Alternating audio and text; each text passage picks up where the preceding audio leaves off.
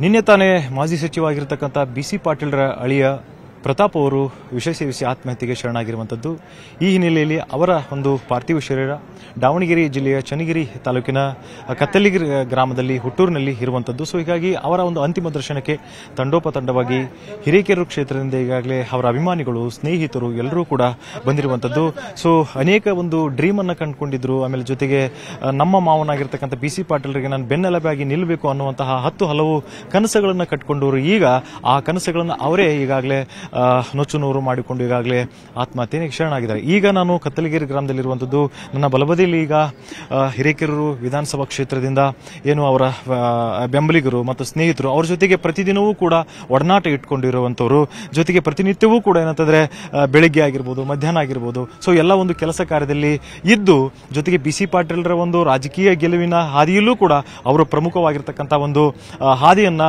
ಇಟ್ಟಿರುವಂತದ್ದು. So ಹೀಗಾಗಿ ಅವರು ಎಲ್ಲ ಅವರಿಗೆ ಚಿರಪರಿಚಿತರಾಗಿರ್ತಕ್ಕಂಥವ್ರು ಮತ್ತು ಸ್ನೇಹಿತರು ಕೂಡ ಇರುವಂಥದ್ದು. ಏನು ಕನಸು ಕಂಡಿದ್ರು ಬಿ ಸಿ ಪಾಟೀಲ್ರ ಬಗ್ಗೆ ಆಗಿರ್ಬೋದು ಅಥವಾ ಅವ್ರ ಜೀವನದ ಬಗ್ಗೆ ಅನ್ನುವಂಥದ್ದನ್ನು ನಾನು ಕೇಳ್ತಾ ಹೋಗ್ತೀನಿ.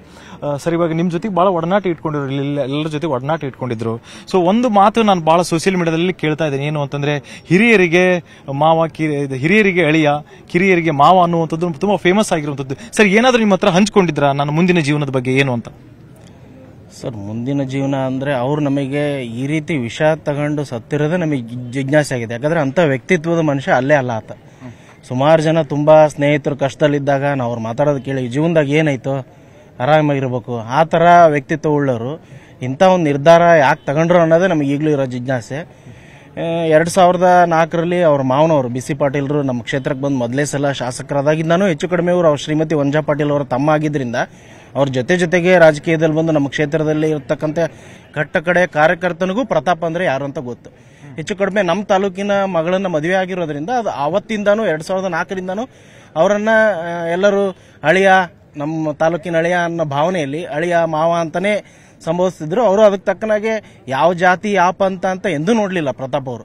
ಸಣ್ಣವರಾಗಿದ್ರೆ ಬಾರ್ಲಿ ಅಳಿಯ ಅನ್ನೋರು, ದೊಡ್ಡವರಾಗಿದ್ರೆ ಬಾ ಮಾವ, ಬೀಗ್ರೆ ಅನ್ನೋರು. ಈ ರೀತಿ ಅವರ ನಮ್ಮ ಸಂಬಂಧ. ನಿನ್ನೆ ದಿನ ಅವರು ನಿಧನ ಹೊಂದಿದ ಮೇಲೆ ನಾವು ಸೋಷಿಯಲ್ ಮೀಡಿಯಾದಲ್ಲಿ ಅವರ ಸ್ನೇಹಿತರು ನಮ್ಮ ಕ್ಷೇತ್ರದ ಜನ ಸ್ಟೇಟಸ್ ಹಾಕೋದನ್ನ ನೋಡಿದೀವಿ. ಯಾರು ಕೂಡ ಬ್ರದರ್ ಅಣ್ಣ ಅಂತ ಯಾರು ಕೂಡ ಹಾಕಿಲ್ಲ. ಮಿಸ್ ಯು ಮಾವ ಮಿಸ್ ಯು ಬೀಗ್ರೆ ಮಿಸ್ ಯು ಅಳಿಯ ಅಂತಾನೆ ಹಾಕಿದ್ದಾರೆ. ಅದನ್ನ ನೋಡಿದ್ರೆ ನಿಜವಾಗ್ಲೂ ಕಣ್ಣಲ್ಲಿ ನೀರು ಬರ್ತಕ್ಕಂಥ ಇದು ಈಗ ನಿಮ್ ಜೊತೆಗೆ ನೀವು ಮಾತನಾಡಿದ್ರೆ ಗೊತ್ತಾಗುತ್ತೆ, ನಿಮ್ ಜೊತೆ ಬಹಳ ಕ್ಲೋಸ್ ಆಗಿದ್ರು ಅಂತ.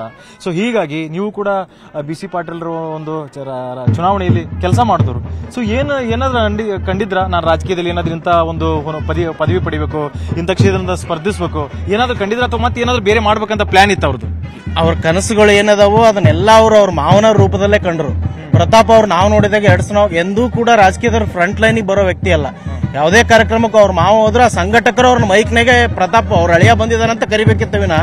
ಇವ್ರು ಯಾವತ್ತೂ ಕೂಡ ನನಗೆ ಕುರ್ಚಿ ಬೇಕು ಚೇರ್ ಬೇಕು ಪದವಿ ಬೇಕಂತ ಆಸೆ ಪಟ್ಟ ವ್ಯಕ್ತಿನೇ ಅಲ್ಲ. ಹೆಚ್ಚು ಕಡಿಮೆ ಅವ್ರ ಮಾವನವರಿಗೆ ಬೆನ್ನೆಲುಬಾಗಿ ನಿಂತಿದ್ರು. ಕೃಷಿಯಲ್ಲಿ? ಯಾರಾದ್ರೂ ರೈತರು ಏನಾದರೂ ಸಾಧನೆ ಮಾಡಿದ ಪೇಪರಲ್ಲಿ ಟಿವಿಲಿ ಬಂದರೆ ಅದನ್ನು ಹೋಗಿ ಮುದ್ದಾಮ್ ನೋಡ್ಕೊಂಡು ಬಂದಿದ್ದನ್ನು ನಾವು ನೋಡಿವಿ.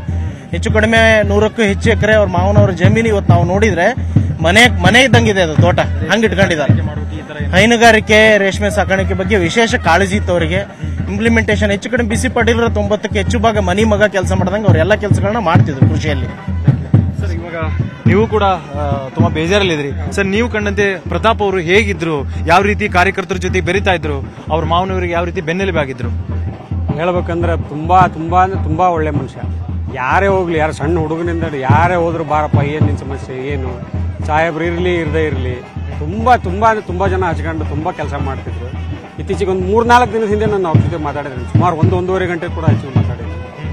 ಆ ತೋಟದ ಬಗ್ಗೆ ಏನಪ್ಪ ಅಡಿಕೆ ಏನು ಮಾಡಿದೆ ಏನು ಬಿಟ್ಟು ಏನು ಮಾಡಿದೆ ಈಗ? ತುಂಬಾ ಅಂದ್ರೆ ತುಂಬಾ ಮಾಡಿದ್ರು. ಈಗ ರೀಸೆಂಟಾಗಿ ಅದೊಂದು ಇದನ್ನ ಗಾರ್ಮೆಂಟ್ ಒಂದು ಕನ್ಸ್ಟ್ರಕ್ಷನ್ ನಡೀತಾ ಇದೆ. ಅದೊಂದು ಕೆಲಸದ ಬಗ್ಗೆ ನಾವು ಅಲ್ಲೇ ಮಾಸೂರಿನವ್ರು ಆಗಿದ್ದಕ್ಕಿಂತ ಅಲ್ಲೇ ಓಡಾಡ್ತಿದ್ದೆ. ಹೌದು. ತುಂಬ ಅಂದರೆ ತುಂಬ ತುಂಬ ತುಂಬಲಾಗಿರೋ ನಷ್ಟ ಅವರಿಗೆ. ಯಾಕಂದ್ರೆ ಒಂದು ಬಲಗೈಯೇ ಮುರಿದಂಗೆ ಅಂತ ನನ್ನ ಅಭಿಪ್ರಾಯ. ಆಗಬಾರ್ದಾಗಿತ್ತು, ಆಗೋಗಿದೆ. ದೇವರ ಆತ್ಮಕ್ಕೆ ಶಾಂತಿ ಕೊಡಲಿ ಅಂತ ಹೇಳಿ. ಇದಿಷ್ಟು ಅವರ ಸ್ನೇಹಿತರು ಮತ್ತು ಏನು ಹಿರೇಕೆರೂರ ಭಾಗದಲ್ಲಿ ಇರ್ತಕ್ಕಂಥ ಕಾರ್ಯಕರ್ತರು ಏನಿದ್ದಾರೆ, ಅವರೆಲ್ಲರೂ ಕೂಡ ನೋವಿನ ಮಾತಾಗಿದೆ. ದಾವಣಗೆರೆಯಿಂದ Ramesh B H news eighteen Kannada. ಕನ್ನಡಿಗರ ಮೆಚ್ಚಿನ ನಿಮ್ಮ ನ್ಯೂಸ್ ಏಟಿನ್ ಕನ್ನಡ ಈಗ ವಾಟ್ಸ್ಆಪ್ನಲ್ಲಿಯೂ ಲಭ್ಯ. ಕರ್ನಾಟಕ ಮತ್ತು ದೇಶ ವಿದೇಶದ ತ್ರೀ ಸಿಕ್ಸ್ಟಿ ಡಿಗ್ರಿ ಸುದ್ದಿ ವಿವರವನ್ನ ನೀವು ನಿಮ್ಮ ಕೈ ಬೆರಳುಗಳಲ್ಲಿಯೇ ಪಡೆಯೋದಿಕ್ಕೆ ಈ ಕ್ಯೂ ಆರ್ ಕೋಡ್ ಅನ್ನ ಸ್ಕ್ಯಾನ್ ಮಾಡಿ. ನಮ್ಮ ಚಾನೆಲ್ ಅನ್ನ ಫಾಲೋ ಮಾಡಿ ನೋಟಿಫಿಕೇಶನ್ ಆನ್ ಮಾಡಿ.